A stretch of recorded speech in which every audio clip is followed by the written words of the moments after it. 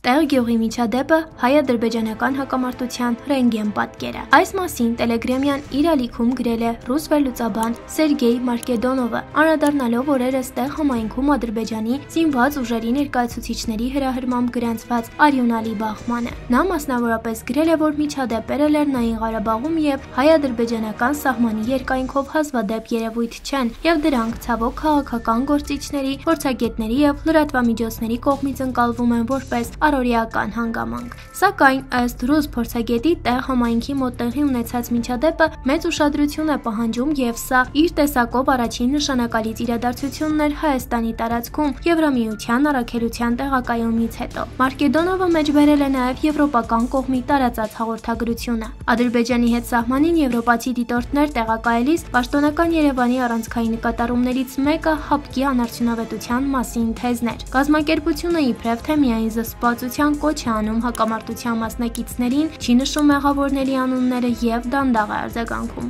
Բայց գործնականում պարզվեց, որ Եվրամիության առաքելության ներկայացուցիչները եւս չեն շտապում հստակեցնել մեղավորներին, նկատել է Մարկեդոնովը, շարունակելով, որ նմանատիպ բազմաթիվ հայտարարություններ տարիների ընթացքում արել էր նաեւ ԵԱՀԿ-ն։ Միևնույն ժամանակ Մարկեդոնովը հիշեցնում է, որ իրավիճակից օգտվել է Ռուսաստանը եւ մատնանշել այս փաստը, իսկ ՀԱՊ կառաքելության տեղակայման հարցը քննարկվում եւ ըստ Մոսկվայի գնդակը Երևանի դաշտում է։ Սակայն Մարկեդոնովը նշում է, որ այս ամենը շատ ավելի խորը շերտեր է բացահայտում, քան միայն եվրոպացիների կոնֆուզներ։ Նախ Հայաստանի եւ Ադրբեջանի հակամարտությունը Ղարաբաղյան չէ, միջպետական սահմանի կոնֆիգուրացիան եւ երկու երկրների քաղաքական ու աշխարհագրական ուրվագծերն են առանցքային թեման, իսկ տեղի նման գյուղերը շատ են։ Երկրորդ Բաքուն եւ Երևանն իրենք չեն կարող եւ չեն ցանկանում հասնել փոխշահավետ փոխզիջման։ Տարբեր բրոքերներ դա անում են նրանց փոխարեն ազնվության եւ հիանալիի մասին սեփական պատկերացումների չափով։ Երրորդ հակամարտությունում աշխարհակահաղականացումն ուժեղ է,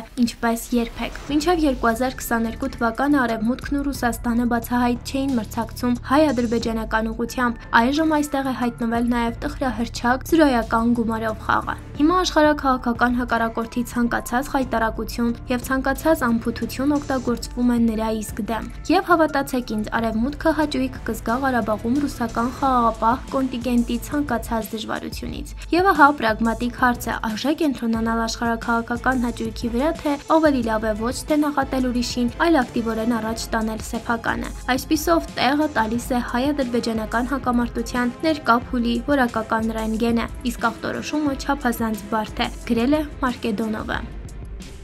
Մեդիալաբի հարցերին պատասխանել է քաղաքագետ Դեմոկրատական այլընտրանք կուսակցության քաղաքական խորհրդի նախագահ Սուրեն Սուրենյանցը։ Պարոն Սուրենյանց, Ռուսաստանի արտգործնախարարության պաշտոնական ներկայացուցիչ Մարիա Զախարովան ասել է, թե Ադրբեջանը եւ Հայաստանը ընդունել են Ռուսաստանում հանդիպելու առաջարկը, քննարկելու կողմերի միջև խաղաղության համաձայնագիրը։ Ինչ էական արդյունք կարելի ակնկալել այս հանդիպումից։ Իմ վերջին մի քանի հարցազրույցներում կանխատեսել եմ, որ արևմտյան միջնորդական հարթակներում փակուղի է, այսինքն մենք տեսնում ենք, որ վիրուսելի գործընթացը գրեթե կանգ է առել։ ԱՄՆ-ի կողմից կա դրսևորվող ակտիվություն, բայց բաց է մնում այն հարցը, թե արդյոք ԱՄՆ-ն շահագրգռություն ունի տարածաշրջանային խնդիրներով հայ-ադրբեջանական հարաբերություններով զբաղվելու թե ոչ։ Այդ ֆոնին մենք տեսնում ենք, որ վերջին շրջանում Ռուսաստանի կողմից դարձյալ ակտիվության փորձեր կան։ Զախարովայի այդ հայտարարությանը շատ ավելի կարևոր իրադարձություն էր նախորդել։ Տեղի էր ունեցել Փաշինյան-Պուտին հերախոսազրույցը։ Ըստ Կրեմլի տարածած հաղորդագրության, որը պաշտոնական Երևանը չի հերքել, քննարկվել է նաև խաղաղության պայմանագրի նախապատրաստման հարցը։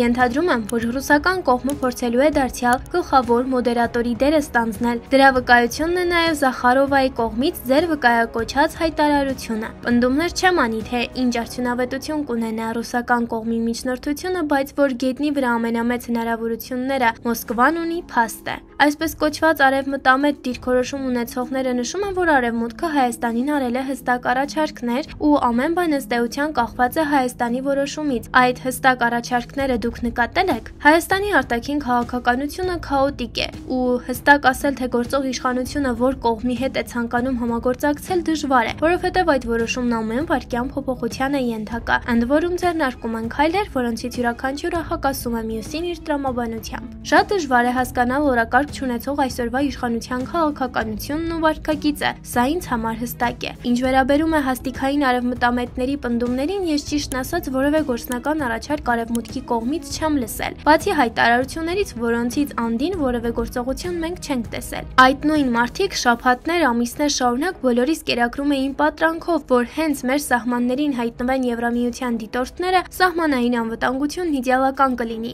Ադրբեջանական ագրեսիաները սակավ։ Մենք կսկսենք ավելի անկաշ կանդարտակին քաղաքականություն վարել, որովհետև Ադրբեջանի ագրեսիան կզսպվի։ Այս պատրանքները բախվեցին դառը իրականությանը։ Մենք տեսանք, թե երասխում դիպուկահարի գրակոցից Հայաստանի զինծառայողի մահ, տեղում ադրբեջանական առաջ խաղացում, Հայաստանի սուվերեն տարածքի հաշվին, օրեր առաջ էլ արյունալի միջադեպը։ Ասածս բնավ չի նշանակում, թե չպետք է աշխատել արևմուտքի հետ, եւ Ռուսաստանի եւ արևմուտքի հետ պետք է աշխատել, բայց Հայաստանը պետք է ունենա օրակարգ։ Եթե չունես օրակարգ, քաոտիկ քաղաքականության հետևանքով հայտնվում ես աշխարհակաղակական բախման կիզակետում, ինչը նորանոր ռիսկեր է ծնում քո պետության համար։ Այս համատեքստում հապ կարակելության տեղակայումը սահմանին, եթե իհարկե Հայաստանը համաձայնվի, արդյունավետ է լինելու։ Եվրամիության դիտորդական առաքելության տեղակայմանն էլ դեմ չեմ եղել, որովհետև ցանկացած միջազգային ներգրավվածություն անվտանգության լրացուցիչ բարձիկ է, եթե դրանցից կարողանում ես ճիշտ օգտվել։ Նույն կերպ հապ դիտորդական առաքելությունը կարող է նպաստավոր լինել, եթե մենք ճիշտ կարողանանք օգտագործել այդ գործիքը, բայց պետք է հասկանանք, որ մեր պետության անվտանգության միակ երաշխավորը մեր բանակն է, ու ոչ մի առաքելություն չի կարող փոխարինել դրան։ Հապ դիտորդական առաքելության հետ կապված Նիկոլ Փաշինյանն անկեղծ ասած հայտնվել է ծուղակում, որովհետև նա արևմուտքի հետ կապված պատրանքներ ուներ, բայց իր վերջին ասուլիսից པարզ դարձավ, որ այդ պատրանքները բախվել են արևմտյան սառը պրագմատիզմին, ու նա փորձեց դարձյալ ռևերս կատարել ռուսական ուղությամբ։ Հենց այստեղ է, որ հայտնվեց ծուղակում, քանի որ Մոսկվայից բարբերաբար տարբեր կարգավիճակ ունեցող պաշտոնյաների կողմից շարունակ հնչում է մի թեզ, որ եթե Հայաստանն ուզում է նոր